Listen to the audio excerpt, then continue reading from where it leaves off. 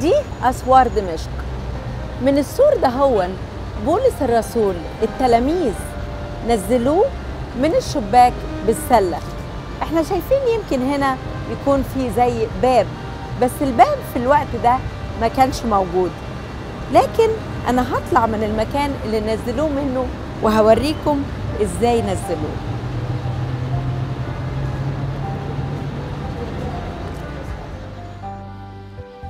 جوه الأسوار. وطلعوا فوق. طلعوا عالي وتعبوا علشان ينزلوا صديقهم والطلعة مش سهلة. ويمكن السلم عالي.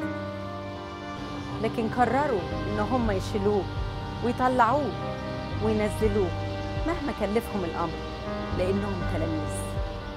والتلميذ بيتعلم من سيده. هم اتعلموا من يسوع إن التلميذ عليه إنه يتعلم وكمان إنه يبذل. من المكان ده هو أنا شايفة المكان ده قد إيه صعب جوه الأسوار. بيهربوه عشان يجري بره الأسوار عشان ينفد بحياته. لأن الاضطهاد كان عليه شديد وكانوا عايزين يموتوه. المكان ضيق. تخيلوا حطوه في سبت. ونزلوه لغاية تحت.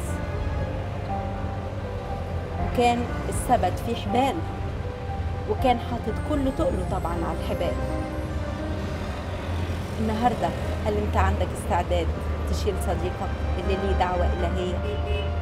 ولا تحطمه وتجري وراه ولا تدي للغيرة فرصة وتدخل روح الغيرة.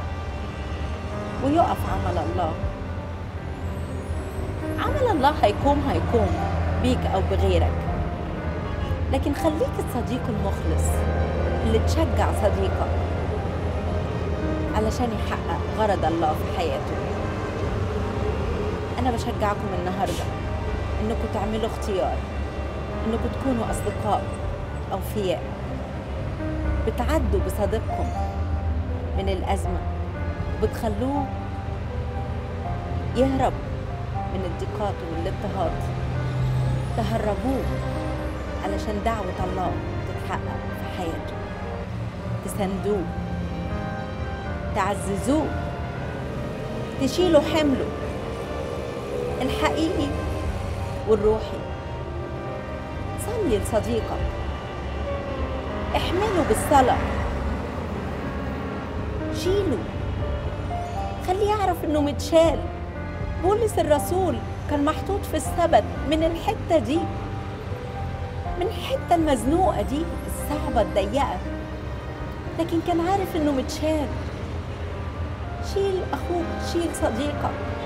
ما تتخلاش عن صاحبك لما يكون عنده دعوة إلهية. وصدقوني لما نساعد غيرنا على تحقيق الدعوة الإلهية في حياتهم ربنا هيبعت لنا. اللي يساعدنا في تحقيق دعوة الله في حياتنا. كلنا محتاجين بعض. كلنا محتاجين بعض. خلينا نقدم العون لبعض. ونحقق دعوة الله في حياتنا ودعوة الله على الأرض. النهاردة يمكن يكون ربنا ادالك إعلان. لكن اعرف إن الإعلان تحقيقه مش هيتحقق بسهولة. هيكون في أيام صعبة لكن إخواتك هيشيلوك. إخواتك هيشيلوك. ربنا هيبعت لك اللي يشيلك ويساعدك. أنا وأنت النهاردة تلاميذ في كل أمور حياتنا. خلينا نكون تلاميذ أمنا ليسوع المسيح.